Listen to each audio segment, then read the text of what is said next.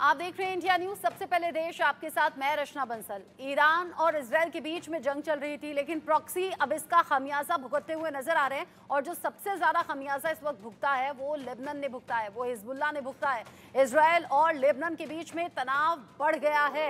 Lebanon में Israel का ground operation अब शुरू हो गया है। लेबनन में आईडीएफ घुस गई है ग्राउंड ऑपरेशन करने के लिए, यानी कि इसराइली डिफेंस फोर्स की तरफ़ से अब ग्राउंड ऑपरेशन यानी कि पहले तो एयर स्ट्राइक हो रही थी। आसमान से हमला, अब ज़मीन से हमला होगा। आईडीएफ ने ग्राउंड ऑपरेशन शुरू कर दिया है। हिजबुल्ला के कई ठिकाने ऐसे हैं जिन्हें निशाना बनाया गया है टारगेट किया गया है। हमले से पहले इसराइली सैनिकों ने प्रार्थना भी की।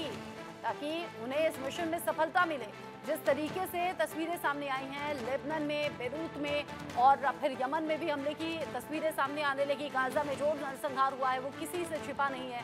ऐसे में अब ये मोर्चा संभालते हुए आईडीएफ लेबनन में नज़र आ रही है, जहाँ पर हिजबुल्ला के एक के बाद एक कई ठिकाने तबाह कर दिए गए। इसराइल और लेबनन में ये जो टकराव की स्थिति अभी बन रही है, इसी टकराव में ग्राउंड ऑपरेशन लेबनन में आईडीएफ ने शुरू कर दिया है। तमाम ऐसी तस्वीरें हैं जो सामने आ रही हैं जो बता रही हैं न तो आईडीएफ के सामने चुनौतियाँ कम हैं और अब मुश्किलें लेबनन के सामने खड़ी होती हुई नज़र आ रही हैं हिजबुल्ला के सामने खड़ी होती हुई नज़र आ रही है। ये पूरी खबर क्या है ये आप जान लीजिए। लेबनन में इजरायली सेना घुस गई है। पख्तरबंद वाहन उनके पास में है। आठी लदी के साथ में एंट्री कर ली है। यानी कि यहाँ मोर्चा संभालते हुए बड़े हमले की तैयारी अब ग्राउंड पर है। हज़ारों सैनिक लेबनानी सीमा में घुस गए हैं। तीन इलाकों में जमीनी आक्रमण शुरू कर दिए गए हैं। आईडीएफ ने 20 किलोमीटर का बफर जोन यहाँ पर बनाया है और इस 20 किलोमीटर के दायरे में आईडीएफ लगातार आगे बढ़ती हुई नज़र आ रही है। ग्राउंड ऑपरेशन शुरू कर दिया गया है। आईडीएफ की टैंक ब्रिगेड ने बॉर्डर पार किया और उसके बाद में जो तबाही है, वो लगातार सामने आ रही है। आर्टिलरी ब्रिगेड फायर पोजीशन में है। इसराइली एयरफोर्स की लगातार निगरानी बनी हुई है कि ग्राउंड पर जो ऑपरेशन हो रहा है, उसमें एयरफोर्स की ज़रूरत कहीं है तो नहीं। शुरुआती एक्शन अभी देखे जा रहे हैं। हिजबुल्ला के 50 से ज़्यादा ठिकानों पर एयर स्ट्राइक अब तक हो चुकी है। ऐसे में सात हिजबुल्ला कमांडर तो ढेर हुए ही। साथ हिजबुल्ला कमांड सेंटर पर भी इसराइल ने अटैक कर दिया है। कई बहुमंजिला इमारतें ऐसी हैं जो जमींदोज हो गई हैं और इन बहुमंजिला इमारतों में रहने वाले जो सिविलियंस हैं, उन्हें भी नुकसान पहुँच रहा है। कई कई मंजिल की जो इमारत हैं, वो पल भर में जमींदोज हो जा रही हैं। इन सब के बीच में इसराइल की रणनीति अब आगे है क्या? क्या तैयारी है? ये भी जानिए। हिजबुल्ला के नेटवर्क को तबाह करना पूरी तरह से ये आईडीएफ का एक लक्ष्य है। हमास की तरह ही यहाँ पर उसे नष्ट करना, यानी कि हिजबुल्ला के खात्मे के लिए आईडीएफ आगे बढ़ रही है। हिजबुल्ला के टनल को ध्वस्त करना भी एक लक्ष्य है। हिजबुल्ला की मिसाइल क्षमता को नस्त नाबूद करना, क्योंकि आपको याद होगा, ईरान इसराइल में जब टसल बढ़ रही थी, तब हिजबुल्ला ने कई रॉकेट इसराइल की तरफ़ दागे थे। कुछ तो एयर डिफेंस सिस्टम ने आसमान में ही नष्ट कर दिए, लेकिन कुछ इसराइल में गए थे, फटे थे, तबाही दिखी थी, और उसी का पलटवार अब इसराइल ने इतने बड़े इंतकाम के तौर पर ले लिया है। अब इस पूरे मामले को लेकर हिजब की प्रतिक्रिया भी सामने आ रही है, क्योंकि जब हिजबुल्ला चीफ मारा गया, तब चारों तरफ़ इसके रिएक्शंस भी देखने को मिल रहे हैं। हिजबुल्ला की तरफ़ से कोई काउंटर अटैक नहीं। इस तरह से रिएक्शन आया है, प्रतिक्रिया आई है।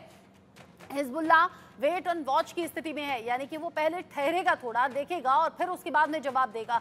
नसरल्ला की मौत के बाद में हिजबुल्ला में बिखराव भी नज़र आ रहा है। हो सकता है कि नसरल्ला की मौत के बाद में ये जो बिखराव है, ये अब अलग अलग लक्ष्यों को लेकर हो, कोई कह रहा हो कि शांत बैठना चाहिए, कोई कह रहा हो कि जवाब देना चाहिए। ऐसे में हिजबुल्ला के कई कमांड सेंटर तबाह हो गए हैं अलग अलग तरह से बर्बादी नज़र आ रही है और ये हमले अभी भी रुक नहीं रहे। इसको लेकर बात हम करेंगे। मेजर जनरल रिटायर्ड जे के बंसल सर मेरे साथ में जुड़ गए हैं डिफेंस एक्सपर्ट के तौर पर। Colonel retired J S Sodhi मेरे साथ में जुड़े हुए हैं, विदेश मामलों के जानकार। आप दोनों का इंडिया न्यूज़ पर बहुत स्वागत।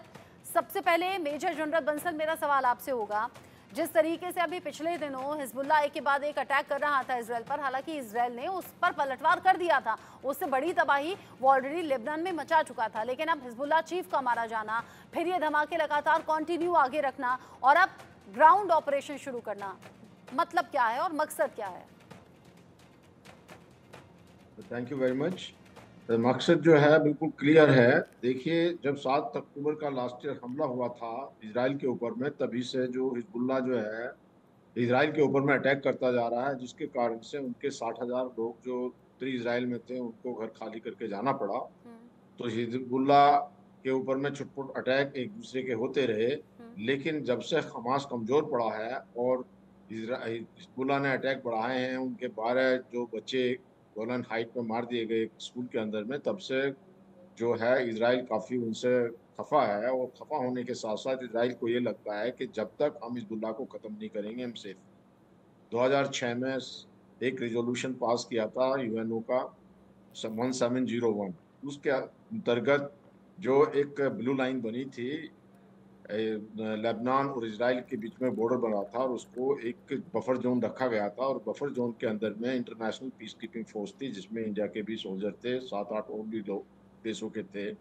लेकिन हिजबुल्ला उसके बाद में उसको वायलेट करके वहाँ पर अटैक करता है तो अब जैसे ही हमास कमज़ोर हुआ तो अब इसराइल ने अपना फोकस इधर शुरू कर दिया, जो पहले से प्लानिंग थी। और सबसे पहले जो बेजर में ब्लास्ट हुआ और उसके बाद आप देखेंगे अटैक पर अटैक होते रहे। वो जो हिजबुल्ला की लीडरशिप है, सब बड़े बड़े कमांडरों को मार दिया गया और अल्टीमेटली जो है नसरल्ला को ख़त्म कर दिया गया, जो जिसमें कि बैरूत के ऊपर में अटैक करने के बाद।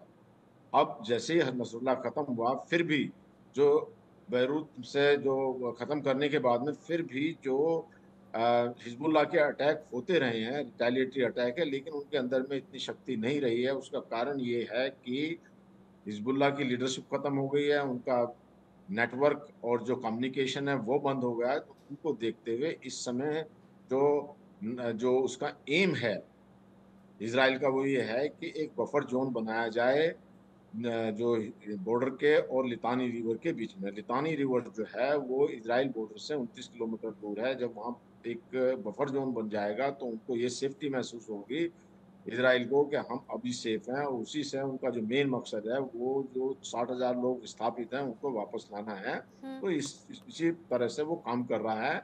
अब बाद में जो है कुछ अटैक जो ऊती ने भी किए हैं लेकिन ऊती को पूरी तरह से रिटेलिएट हो रहा है। ईरान की हिम्मत नहीं पड़ रही तो देखते हुए इस समय जो बहुत एग्रेसिव है इसराइल और वो ये जो अभी हिजबुल्ला को खत्म करके रहेगा। जी। जिस तरीके से हमास के खात्मे के लिए कदम आगे बढ़ाया आईडीएफ ने, और जो तबाही हमने गाजा में देखी, वो किसी से छिपी नहीं, और अब ऐसी ही तबाही लेबनन में नज़र आ रही है जगह जगह जो हमले हो रहे हैं।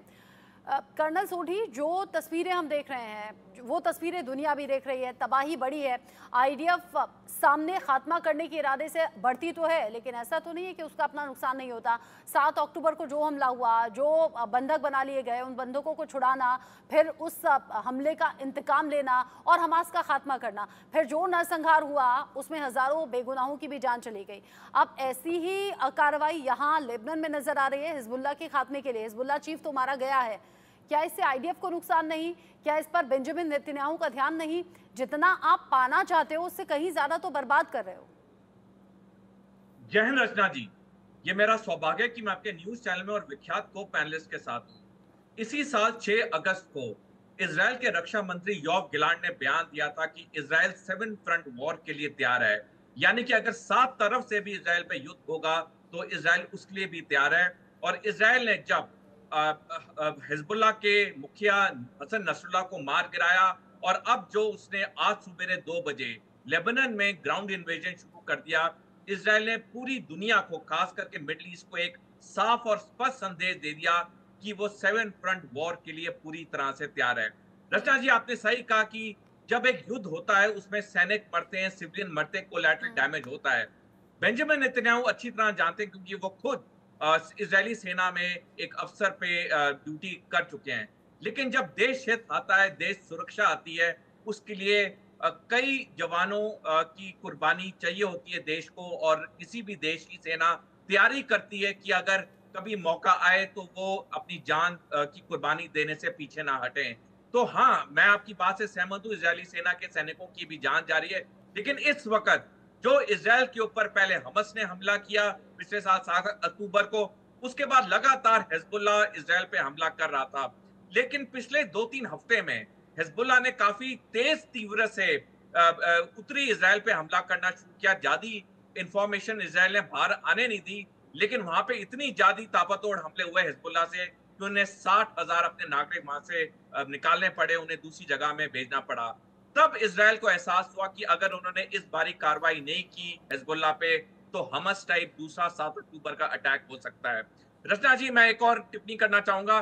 पिछले साल जो ये सात अक्टूबर का हमला हुआ, उससे पहले पंद्रह जुलाई को पिछले साल मोसाद ने बेंजामिन नेतन्याहू को पूरी जानकारी दी थी कि हमस ऐसा हमला करेगा, लेकिन नेतन्याहू ने मोसाद की एक ना सुनी। लेकिन इस बारी नेतन्याहू वो गलती नहीं करना चाहते थे जो उन्होंने पिछले साल की। और जैसी एक पुष्ट